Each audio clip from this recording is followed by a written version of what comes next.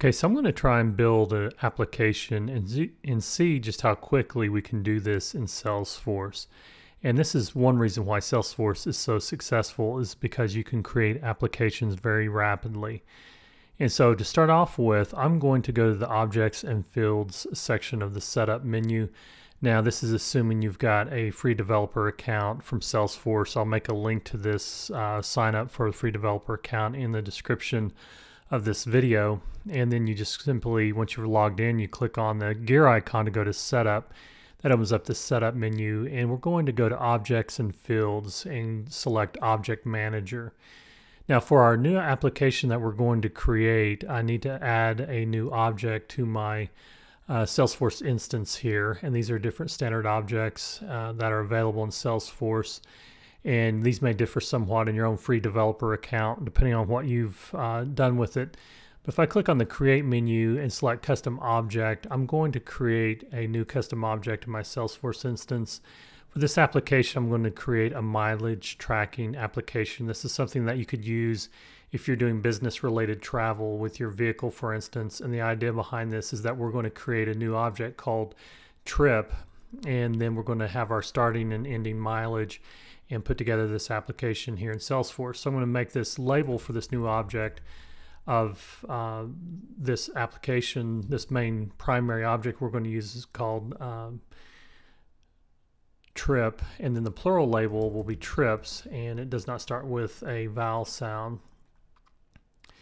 And I'm going to scroll down and um, we're going to have the data type be auto number for the trip, and we're going to start the numbering uh, designation with a T and then a dash, and then we're going to do five digits. And we're going to have the starting number be one. And then I'm going to select to allow reports and activities and track field history. I'm going to, I'm not going to take a lot of time to explain all these designations. Uh, I am going to select allow search and then as well add the notes and attachments and launch the new custom tab wizard. But since I'm trying to see how quickly I can create a new app, I'm not going to spend a lot of time explaining this. And we're just going to move forward and see where we end up and how quickly we end up there. I'm going to set a tab style and select a tab of a car since this is related to mileage tracker and click next and then we're going to apply uh, one tab visibility to all profiles default on and that's just the default designation and click next and then we're going to include this tab in um, actually none of these different applications and click save. And so now we've created our custom object we uh, called trip and we need to create a new a few new fields. And so if I click on fields and relationships, we need to add a date field. And let's go ahead and select date radio button and click next. And we're going to label this just with the term date, and this will be the date of the trip that we take. We're going to have a formula to populate this by default with today. And so I'm going to type in today and then uh, opening and closing parentheses. Check the syntax to make sure that that's right. No errors, click next. I'm going to make this visible for the default profiles that are selected and click next and add this to the page layout and click save and new. And then I want to have a couple of number fields. So the first number field will be for the starting mileage. So we select number radio button and click next. And then we're going to call this starting mileage we'll have the length be seven digits long with a decimal place of one so we can account for tenths of a mile. We're going to click next and we're going to accept the defaults for the visibility of this particular new field by profile and add this to the page layout as well and click save and new to save that starting mileage field and now we're going to create one more numeric field and here's where you select the data type. Once again is number. Click next. And then this is the ending mileage. Once again, we're going to make the length of this one as well, seven digits long, and then one decimal place to allow for tenths of a mile. We're going to leave the rest alone and click next. And then we're going to take the defaults here and click next and click save.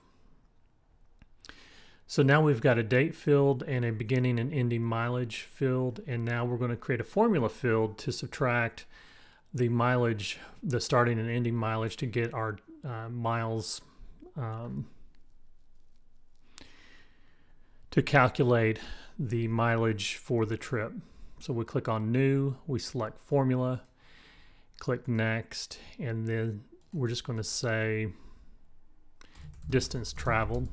This way, if your odometer in your vehicle is kilometers or miles, um, it'll work either way.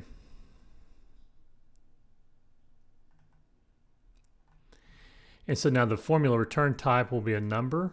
We're going to click next and then we're going to do our advanced formula by clicking there and we're going to click insert field and find our um, ending mileage and insert that and then we're going to insert an operator of subtract and then we're going to insert another field with our beginning mileage or starting mileage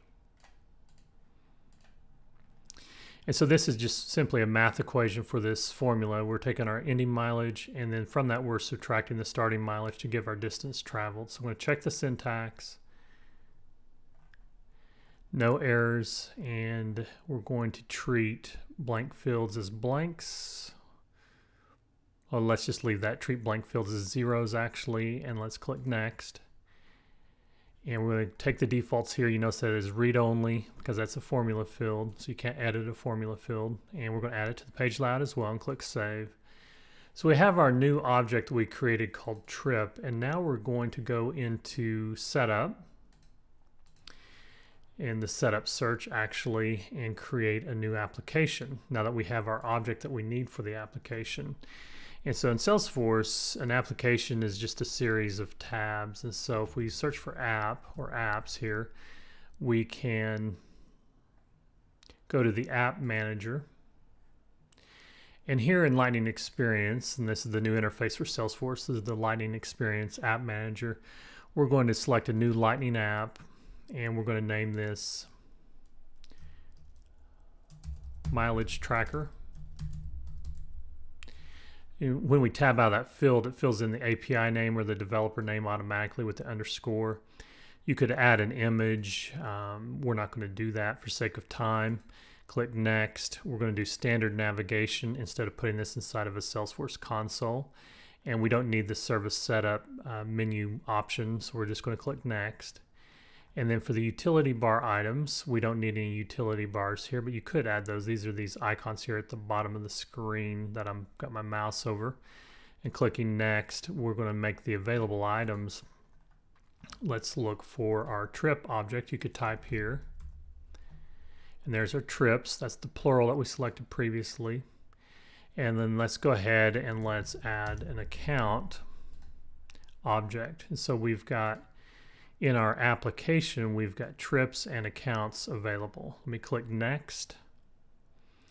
And then for available profiles, we will just select all profiles to make this app available to by shift clicking uh, from top to bottom and clicking the right arrow to move them over to the right and click save and finish. And so now if we click on the app launcher, we see that we have our mileage tracker. This is a new application that I just created. And I don't know how quickly we did that, but it was probably less than 10 minutes. And so now we have inside of our mileage tracker app, we have our different trips and also this accounts uh, tab. Now I want to go in before we create any new trips is that in adding the accounts to this application, I realized that for like a new trip, for example, I want to add a lookup for the account so I can associate this trip with like a client visit, for example. So here's a preview of a new trip screen. These are the fields that we created that have been added to the page layout, but I'm going to cancel out of that. And let's go back into our object manager, and I've got it in this tab here already, and let's add one more new field. And this will be a lookup field to the account object. So I'm going to select that as account and we're relating that lookup to the account uh, object and click next. And then we're going to tab out of the field label to fill in the field name. And then we're going to leave the rest defaults and click next. Keep the defaults here as well as far as visibility and add this to the page layout and click save to finish that out. So now I'm going to go back to my trips um, tab inside of the mileage tracker app and I'm going to go ahead and click refresh just in case uh, the new button uh, is cached in memory uh, to not include the account lookup. I'm going to click new and make sure we've got the account lookup now. So you notice here we've got the account lookup and I'm going to select an account to associate this trip for. Now Dickenson PLC is a, just a sample account name that comes in the free Salesforce developer accounts.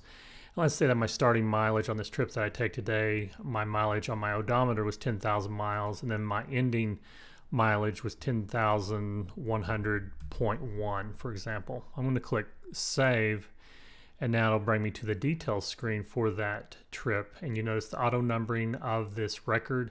We did the auto numbering with the five uh, digits starting with number one and proceeded with the prefix of the T dash. And so we've got our starting and ending mileage and our distance traveled is showing in the formulas uh, 100.1 miles. And so it's that quick that we've been able to create a app inside of the Salesforce platform. And this is just a hint or a glimpse at why this platform is so powerful. The more that you're involved with web development and creating applications through iOS or Java or traditional routes or even HTML, you realize quickly that Salesforce has a better way of doing things. Now, of course, there's limitations, but you can create an application that works out of the box, not only on desktop, but this app will serve you well on a mobile device as well. And so feel free to use this application for your own purposes, for your own mileage tracking. If you're a consultant or a salesperson and you do a lot of traveling and you need to deduct mileage off your tax returns, need to track all that, you can pull out your phone and very quickly log your mileage using this new app that you've just created on the Salesforce platform.